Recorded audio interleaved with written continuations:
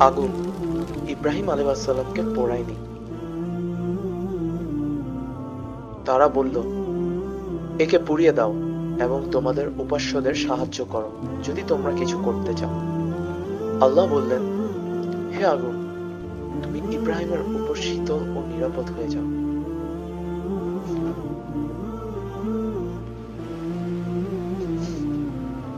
সমুদ্রের পানি মুসা আলহি ওয়াসাল্লামকে ডুবায়নি। অতঃপর আমি মুসাকে আদেশ করলাম, তোমার লাঠি দিয়ে সমুদ্রে আঘাত করো। ফলে তা বিভক্ত হয়ে প্রত্যেক ভাগ সুবিশাল পর্বতের ন্যায় হয়ে গেল।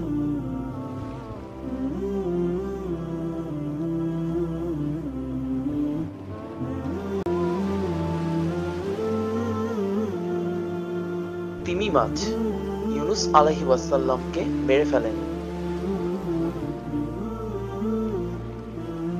সে যদি অনুতপ্ত হয়ে আল্লাহর তসবি পাঠ না করতেন, তবে তাকে কেমন পর্যন্ত মাছের পেটেই থাকতে হতো।